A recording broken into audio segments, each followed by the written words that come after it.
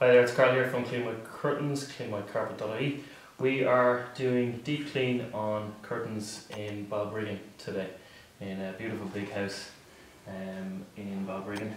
And we're in the drawing room and doing one, two, three, four pairs of curtains. Now, the there's an open fire in the room which is on pretty much year round. It's used to heat water in the house too. Um, so we have soot.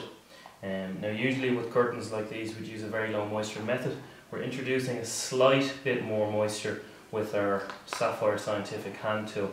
Now this particular tool, we, we can really really tightly control the moisture and because of the type of tool, it, try not to fall off the ladder here, um, it pretty much injects water here and there's two vacuum apertures on either side. So as we come down the curtain, it's injecting water across the path and there's two vacuums pulling it straight out so it's taking about 95% of the moisture out of it.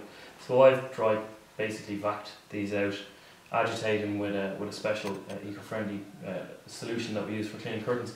And now I'm extracting um, with the machine off.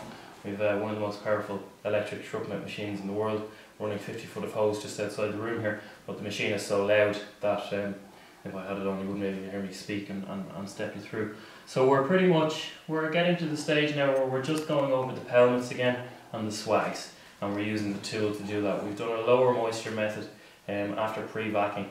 So we're, we're in total for the four pairs of curtains, we're going to be about six hours doing them today, maybe seven at a, at a push. Um, but they're, they're going to be absolutely spotless when they're finished. Um, I think that's pretty much it. The material is, uh, is synthetic. Um, yesterday we were in the Portuguese embassy doing silk curtains, which we wouldn't introduce this amount of moisture into silk, uh, but we didn't have the problems of soot from an open fire in the room. So with these, we're, as I say, we're introducing a little bit more moisture and in some cases a very, very small amount of solvent just to give that extra little bit of kick to get the soot out. Quite heavily soiled. Airflow seems to be coming this way across the room. So this particular pair is the most heavily soiled.